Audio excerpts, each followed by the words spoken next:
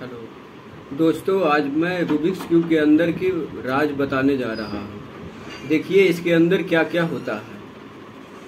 सबसे पहले क्यूब में सिक्स कलर्स होते हैं। और आज मैं इसको बताने जा रहा हूँ कि इसके अंदर क्या क्या राज होते हैं। अंदर में कौन कौन से ऑब्जेक्ट होते हैं। रूबिक्स क्यूब को टर्न ओवर कर सकते हैं। इसमें कलर को मिलाना होता है। सेम कलर, सिंपल एक साइड होना चाहिए।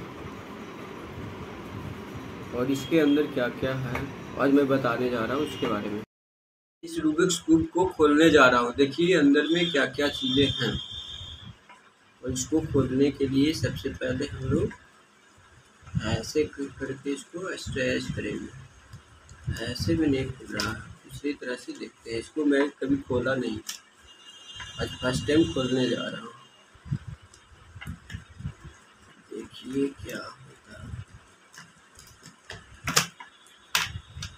एक, दो, तीन, चार, पाँच, छ, सात, एक, आठ। और अंदर में देखिए, इस तरह से इनकी खाली रहते हैं।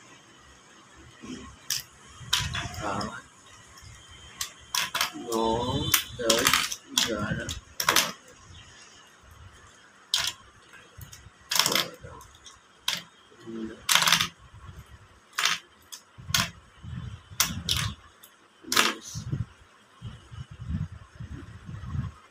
देखिए फ्लेक्सिबल होते हैं। इसके अंदर ये, इसको हम लोग हल्का खींच कर स्ट्रेच भी कर सकते हैं।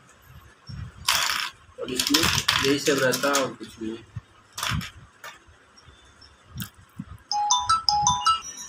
अब देखते हैं इसके अंदर में क्या क्या है।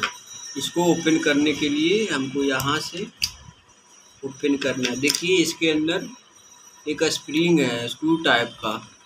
इसको हम लोग टेस्टर वगैरह से खोल सकते हैं।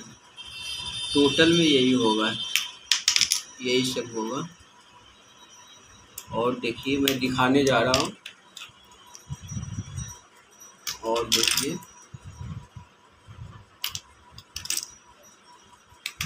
सारे में यही सब है। दोस्तों, अब मैं इसको बनाने जा रहा हूँ। देखिए कितना टाइम लगता। है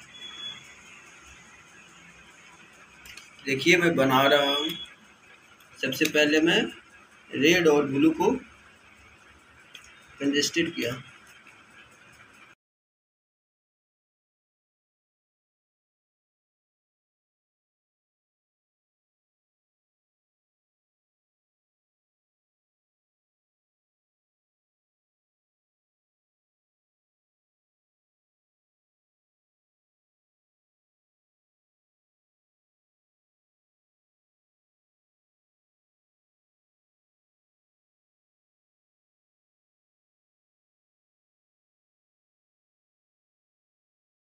दोस्तों, मैंने कंप्लीट किया। और इस तरह के वीडियो देखने के लिए मेरे चैनल्स को सब्सक्राइब करें लाइक करें और कमेंट करें। जय हिंद दोस्तों।